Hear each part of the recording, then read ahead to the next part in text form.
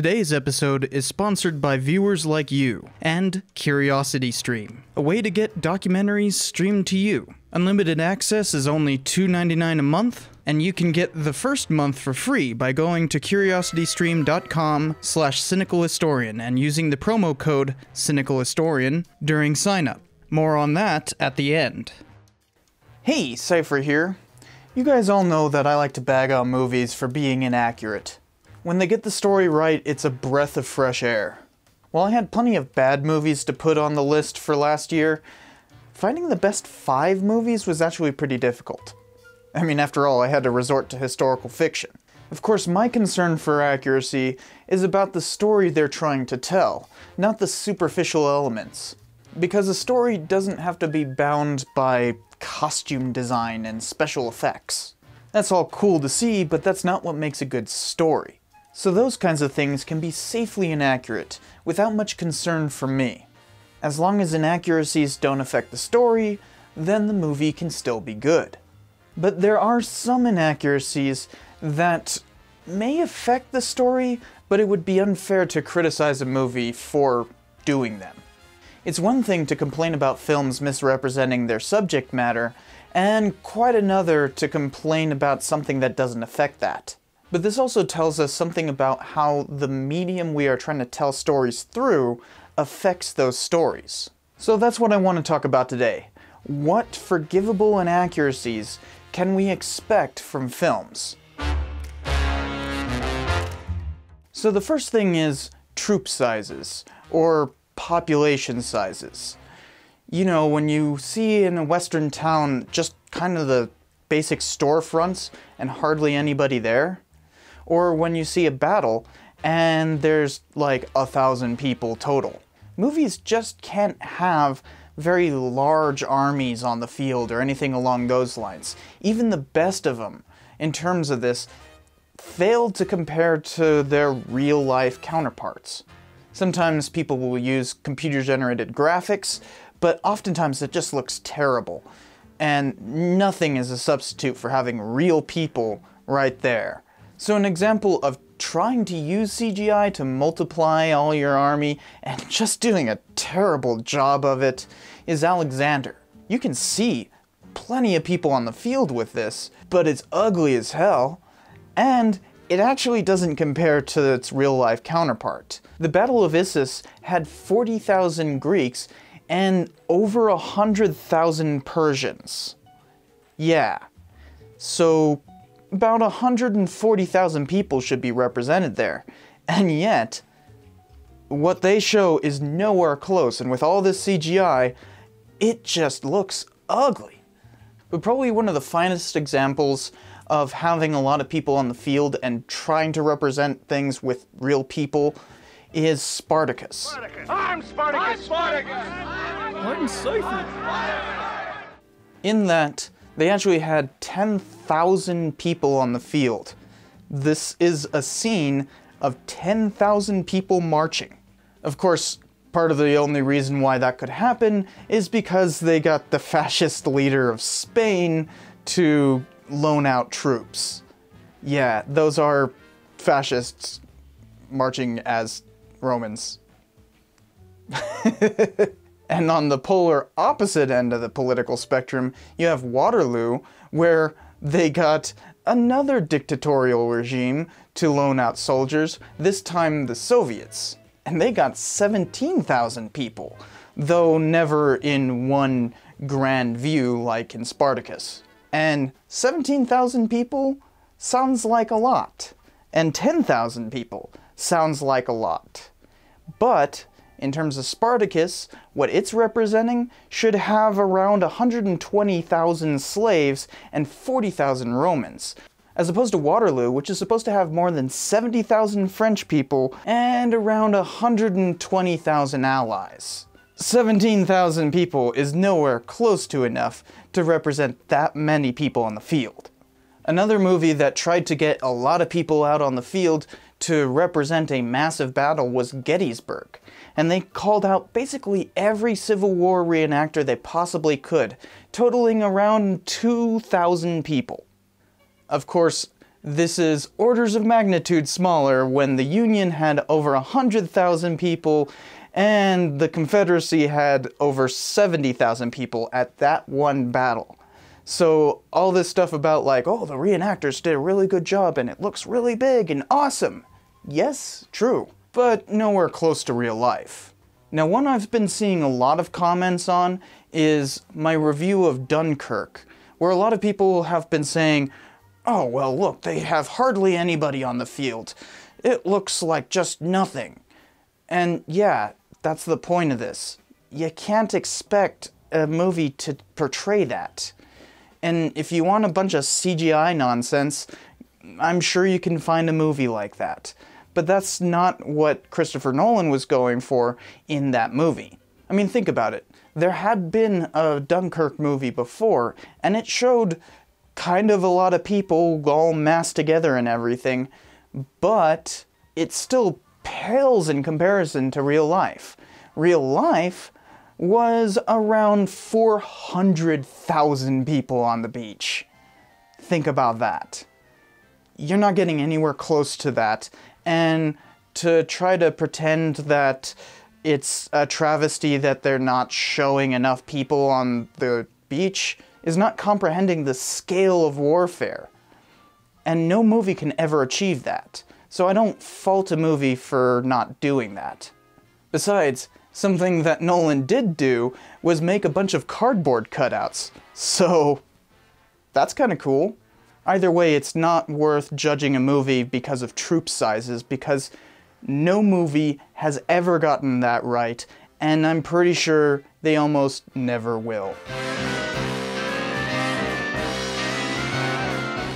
Now, we see in movies shootouts all the time. You'll see somebody getting in a shootout in a barroom brawl, or you'll see, you know, a battle or something along those lines. But it's always portrayed as if you could almost throw a stone at each other. But if you're shooting, if you're within a stone's throw, that's awfully close. But seriously, most battles are fought way long distances. In the army, we're taught to shoot up to 300 yards. And from personal experience in Afghanistan, we actually ended up engaging a lot further than that. And it's not as though weaponry has gotten modernized with every time. No, even by the time of World War I, that distance was pretty much the same. But could you imagine what it would look like if you just saw nothing but dots on the screen shooting at each other? It, it just wouldn't be any fun to watch. And it doesn't really convey anything besides the distance they're shooting at. Plus, the audience wouldn't understand.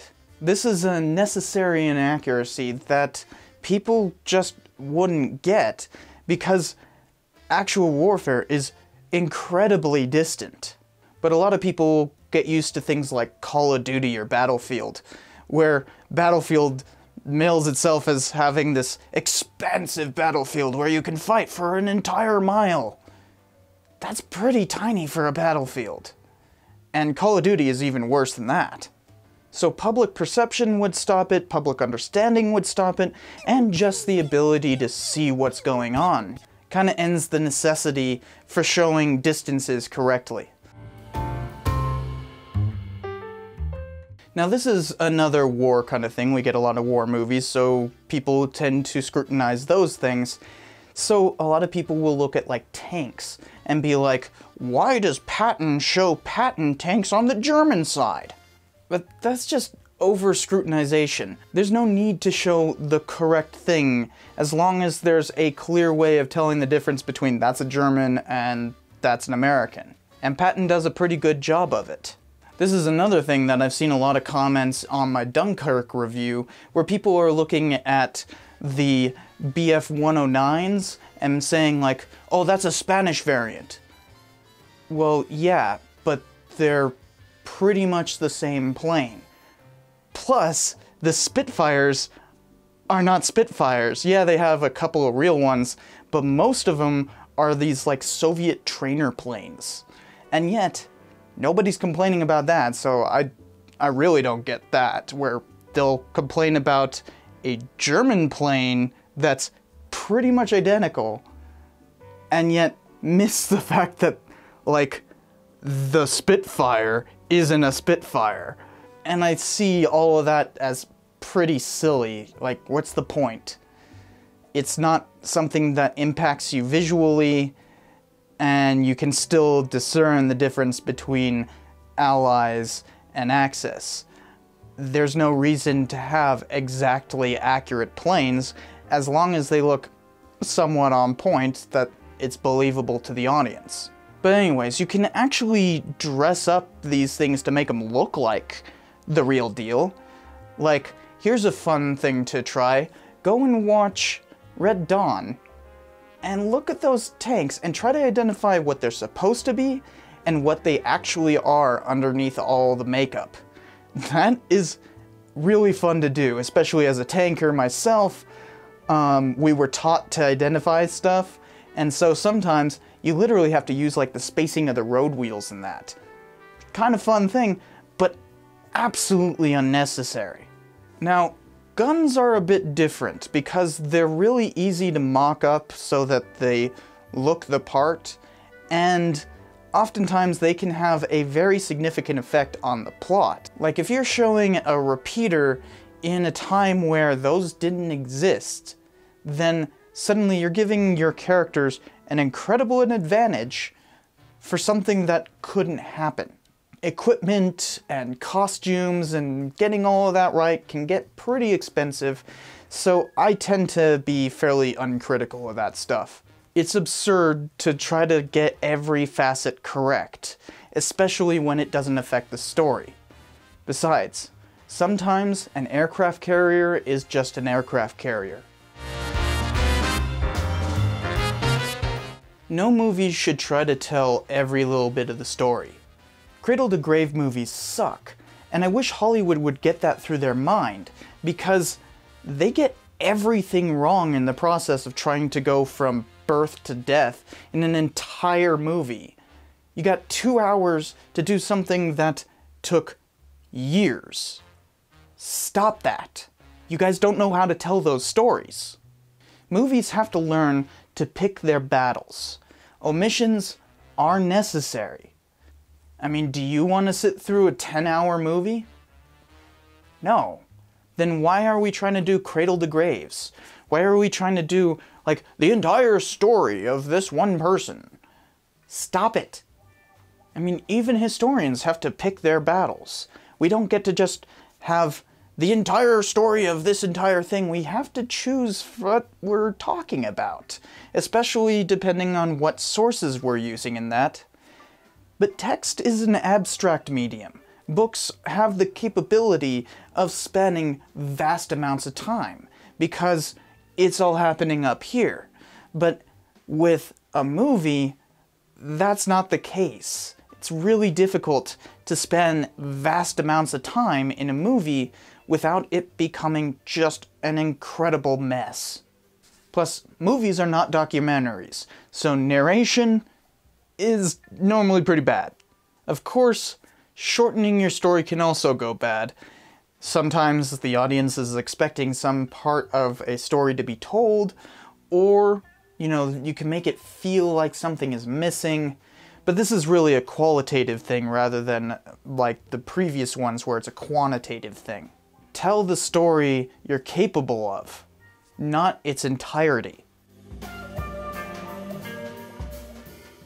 The point is, these are necessary inaccuracies in movies. If it doesn't affect the narrative, then so be it. History's a story, it's in the name. No movie will ever be able to capture the full complexity that a book is capable of. I mean, do you really want like Eric Foner's reconstruction put to film? And this is an abridged version. The normal version is like giant. And yet, I could see somebody trying to put this to film, and that would be a mistake. If they pick their subject matter carefully, remain faithful to the story, and don't bungle up production, you really can't go wrong. If you want in-depth explorations of the problems of historicity in films, then I highly recommend these two books. These are particularly useful because they're edited volumes, which means that they have a different author for each chapter. They present a plethora of different viewpoints. And many of them are much more forgiving than I, but other ones are a lot less. In fact, I've had colleagues say that I go a little too easy on movies. Far be it from me to think that. I don't think I'm a pushover at all. I am willing to forgive things, sure.